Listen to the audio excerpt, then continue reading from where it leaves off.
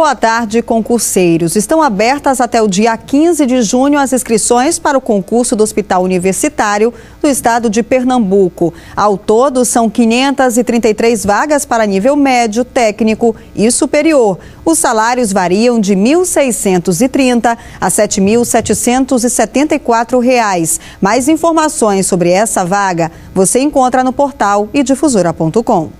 A Prefeitura de Amarante, no Maranhão, abriu vagas para concurso. Serão oferecidas 222 vagas para nível fundamental, médio, técnico e superior. Os salários podem chegar aos 13 mil reais. Os detalhes de como se inscrever neste concurso você encontra no nosso portal.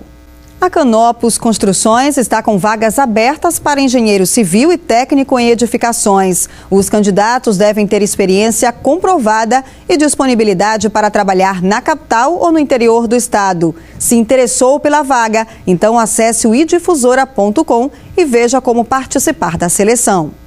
O Grupo Mateus está com vagas abertas para pessoas com deficiência nas áreas de auxiliar administrativo, auxiliar de serviços gerais, auxiliar de depósito, auxiliar de produção, padaria, operador de caixa, repositor e embalador. As vagas são para a capital e os municípios de Imperatriz, Açailândia, Grajaú, Lago da Pedra, Santa Luzia, Santa Inês, Pedreiras e Balsas. Mais detalhes de como concorrer a essa vaga você encontra no idifusora.com.